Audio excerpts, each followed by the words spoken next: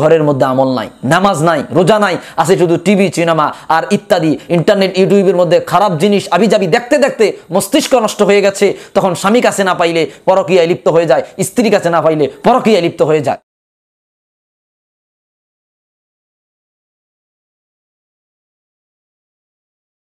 আসসালামু আলাইকুম ওরহমতুল্লাহি ওবরাকাত আলহামদুলিল্লাহ রব্বিল আলমিন।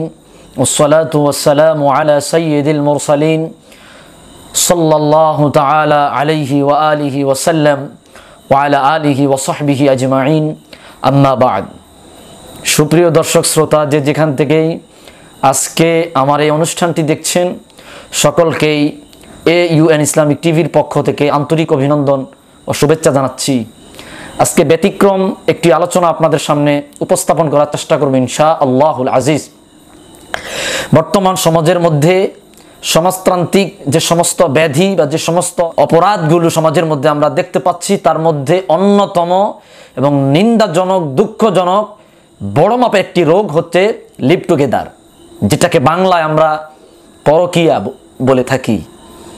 এই পরকিয়া বা লিপ টুগেদার সমাজের মধ্যে এত কঠিনভাবে বিস্তৃত হয়েছে, বিস্তার লাভ করেছে যে এই রোগের এই রোগটি এখন এই রোগের কারণে আজকে সমাজের ঘরে ঘরে ঘরে ঘরে ঘরে ঘরে এই লিপ টুগেদার, এই ধরনের অসব আচরণ, অসব একটা ব্যাধি আমাদের মধ্যে পরিলক্ষিত হচ্ছে। বিশেষ করে বিবাহিত স্বামী এবং বিবাহিত স্ত্রী বিবাহিত নারী পুরুষ এই দুই শ্রেণির মানুষের মধ্যে এই পরকীয়ার ছয় লাভ।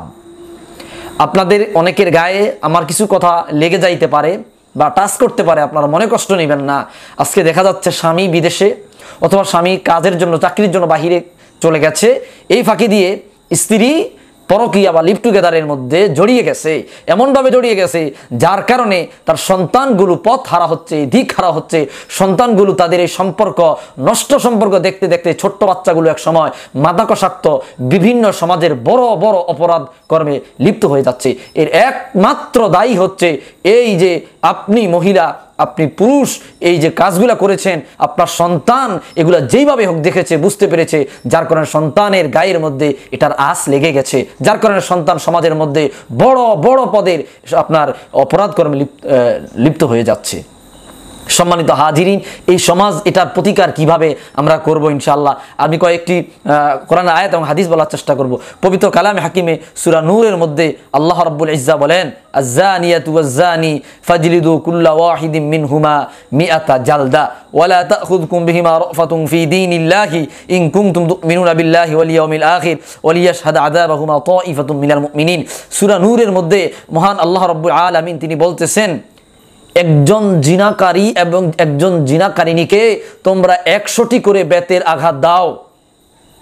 আর যখন তোমরা তাদেরকে বেতের আঘাত দিবে, তখন যাতে করে তোমাদের মধ্যে দয়া নামক কোনো শব্দ, দয়া নামক কোনো বস্তু কাজ না করে।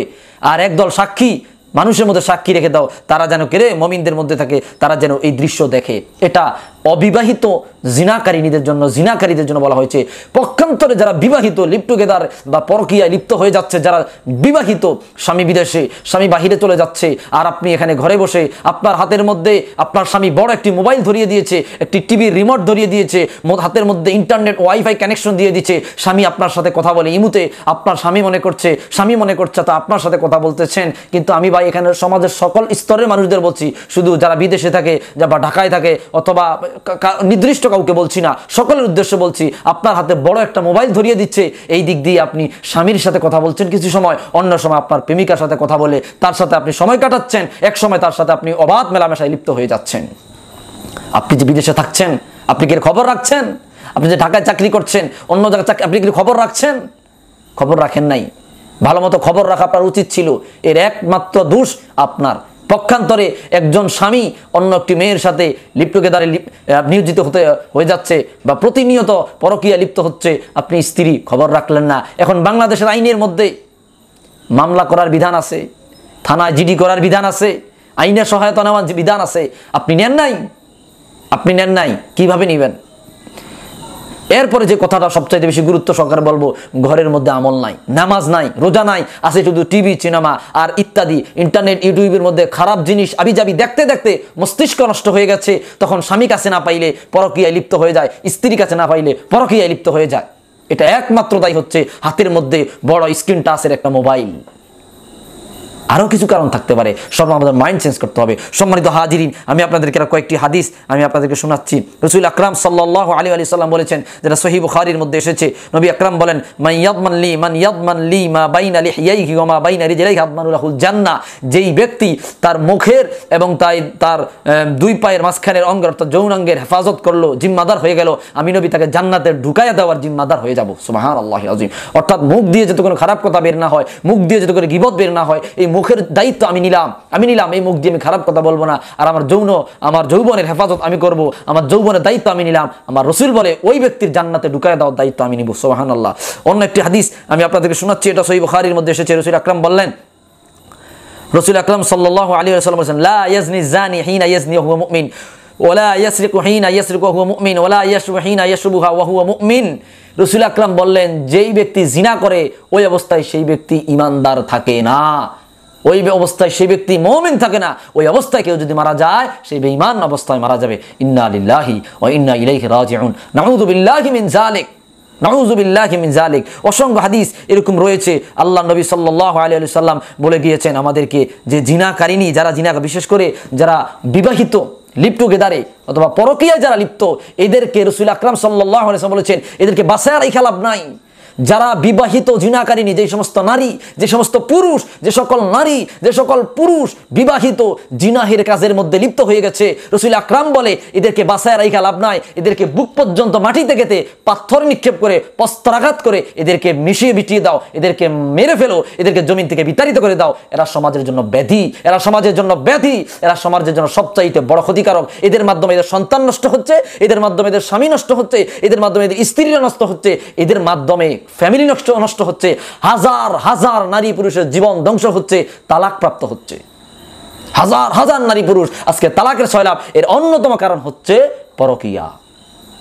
সম্মানিত হাজিরিন, বিদেশি ভাই যারা আছেন চাকরি বাকরি যারা করছেন, আপনার উপর দায়িত্ব, আপনার স্ত্রীর খবর রাখা। আপনার স্ত্রী বলছে, একটা টিভি কিনে দেন। দিলেন, বড় একটা মোবাইল দিয়ে দিলেন দিলেন, আমার আপত্তি নাই সেখানে।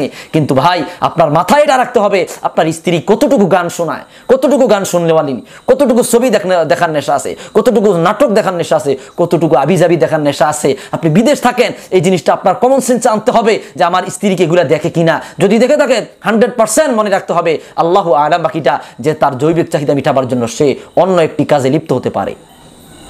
আর যখন দেখবেন আপনার স্ত্রী ওয়াজ শুনে, গজল শুনে, ভালো জিনিস শুনে, ভালো জিনিস দেখে, তখন কমপক্ষে আপনি পঞ্চাশ, সত্তর পার্সেন্ট ধারণা রাখতে পারেন, না, আমার স্ত্রী এই দিকে যাওয়ার মতো নয়, বাকি আল্লাহর ইচ্ছা।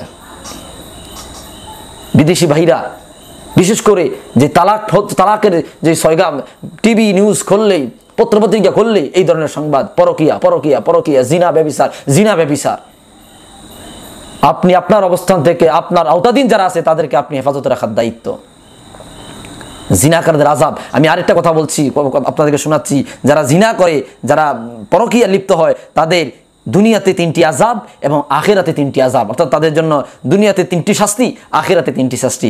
এক নাম্বার, যে যে শাস্তিগুলো আগে আপনার দুনিয়াতে পাওয়া যায়, তাদের চেহারার উজ্জ্বলতা নষ্ট হয়ে যাবে। বিশেষ করে যারা পরকিয়া করে, বিবাহিত নারী পুরুষ।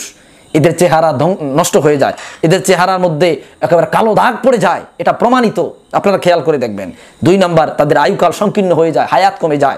তিন নাম্বার, এদের দরিদ্রতা স্থায়ী হয়ে যায়। অবাব অবাব অবাব।